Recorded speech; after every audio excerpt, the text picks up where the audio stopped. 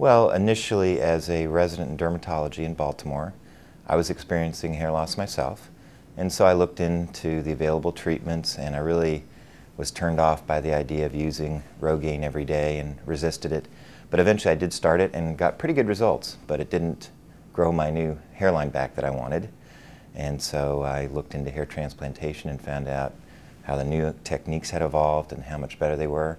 So I went and got a hair transplant and had my hairline reconstructed, eventually went on Propecia, and I've been extremely happy with what it did for me. And so one of the things we learn as dermatology residents is hair transplantation, so it was a natural fit. I just uh, gravitated to it and loved it.